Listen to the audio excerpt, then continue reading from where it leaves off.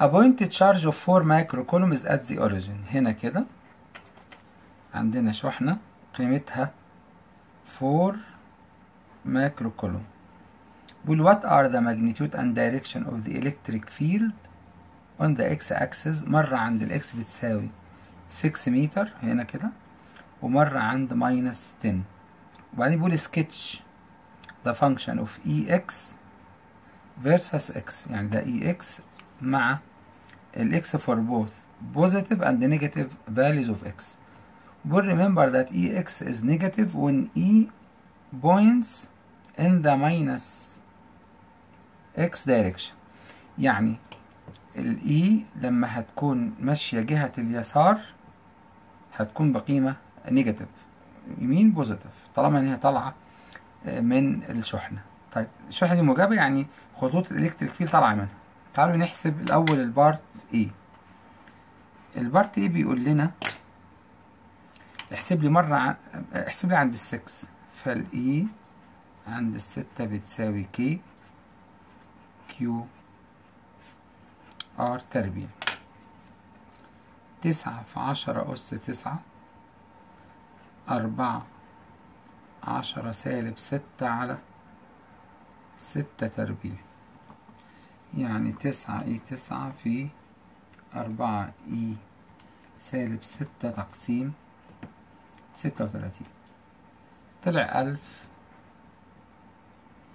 نيوتن على الكل.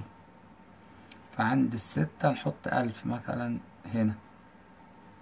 يبقى كده ألف. موجب. ليه؟ لأني طالع من يعني طالع خطوط ال electric field طالعة كده. فبنعتبرها موجبة. طب في ال B طالب عند ال minus 10 فطالما minus 10 هيكون طالع يسار فيكون سالب E 10 minus k Q على r تربيع طب نحط كده القيم. نفسها مفيش غير بس هنا عشرة تربيع وال Q وال k نفسها. يبقى هقول أربعة تسعة أربعة لا مش أربعة تسعة تسعة في أربعة سالب. عشرة سالب ستة. تقسيم مية.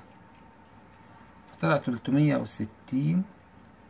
نيوتن على الكولوم ده كان يمين ده يسار.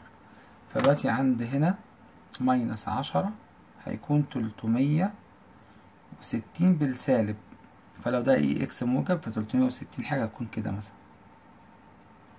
قيمة كده اهو اللي هي تلتمية وستين. هنا ألف. طيب بيقول لي عايز بقى سكتش. يعني خليني أكتب. الشكل العام لل E ال E بتساوي إيه؟ ال E عند أي x بتساوي k في Q على ال x تربيع يعني هتساوي ده في ده يعني ستة وتلاتين ألف تقسيم x تربيع تعالوا نعوض بقى القيم. مرة x باتنين مرة x بأربعة وهكذا. لو ال x باتنين هقول ستة وتلاتين ألف تقسيم أربعة. تطلع تسعة آلاف. يعني نقطة عند هنا مثلا كده. طب لو أربعة هيبقى ستة وتلاتين. ألف تقسيم ستاشر. ألفين ميتين وخمسين. هنا مثلا كده. ألفين ميتين وخمسين. هنا تسعة آلاف. هنا ألف. طب لو عشرة عشرة تطلع زي كده بس موجبة. تلتمية وستين. طب لما أجي أرسم بقى. هرسمها إزاي؟ يعني هرسم الكيرف إزاي؟ اهو. طبعا لما اوصل ما لا نهاية يبقى ده صفر. أي حاجة ما هي بصفر. هيبقى حاجة عاملة كده. ولما يبقى المقام بصفر هتبقى ده ما لا نهاية حاجة طبعا يبقى ده هيوازي. يعني لو مدينا كده اهو اهو. ده هيوازي كده. عمره طبعا ما يوصل ما لا نهاية وعمره هيوصل للصفر. وده برضو نمده كده علشان نبقى فاهمين إحنا بنقول إيه. يبقى هنا كده هيروح للصفر وهنا هيقول للما نهاية. ده ال E x طب الناحية التانية هنا. لو كان minus اتنين هيبقى زي اتنين بالظبط. minus اتنين plus اتنين بأربعة هيبقى زي الأربعة. هتبقى قيمة هنا بس بالسالب هتبقى كده. أنا عايز بقى أقول إيه. الله يعينكم بقى تفهموا أو يعني اللخبطة اللي هتحصل. في الرسم هتبقى شكلها كده اهو.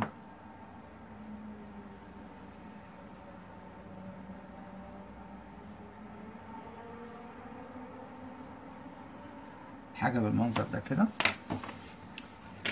وبالتالي هيروح لل يعني زي ما ده عمل كده. ده برضو هيشتغل بسالب ما لا نهاية. وهنا هيروح للصفر. طبعا كل لما ال x تبقى صغيرة أقسم على صفر هيبقى في الاتجاه ده بس رقم كبير قوي. لما تبقى ال x سالب كبير هيبقى ده هيروح للصفر. كده اهو.